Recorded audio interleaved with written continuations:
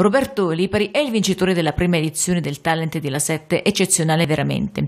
Il comico palermitano ha conquistato il primo posto battendo gli altri tre concorrenti rimasti in gara, il duo Ghetti e Baldieri, Giovanni D'Angella e Francesco D'Antonio. Grazie alla vittoria, Lipari si è aggiudicato un contratto di due anni da 100.000 euro con la Colorado Film.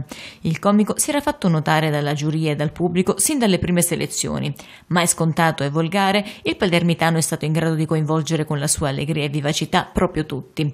Il comico ha così commentato la sua vittoria. L'emozione supera quella del rigore di Fabio Grosso ai mondiali. Ringrazio di cuore tutti per l'affetto e per i tantissimi messaggi di incoraggiamento ricevuti in questi giorni. Non mi aspettavo di vincere perché il finale con me c'erano tanti altri artisti molto bravi e il risultato è stato incerto fino all'ultimo. I quattro giudici chiamati a valutare i comici erano Diego Battantuono, Selvaggia Lucarelli, Paolo Ruffini e il regista Pupi Avati, che hanno dato il massimo punteggio a Roberto Lipari, che è andato allo spareggio con altri due concorrenti per il titolo di comico dell'anno. Infatti pure quando crescono molti non hanno un ordine logico nel loro lavoro, per esempio i dentisti, non capisco perché il dentista prima ti paralizza la bocca, poi ti mette il gancio, poi l'aspiratore e dopo ti fa le domande.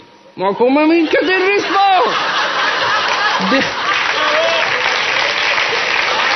Il problema è chi non ha ordine logico vuole dare l'ordine a tutto, per esempio anche ai sentimenti, con la frase, che, la frase tipica che qual è il tuo uomo ideale? Eh, non esiste, infatti le risposte sono confuse. Il mio uomo ideale deve essere sicuro ma indeciso, calmo ma aggressivo, triste ma allegro, uno schizofrenico, questo non sa che cazzo deve fare prima.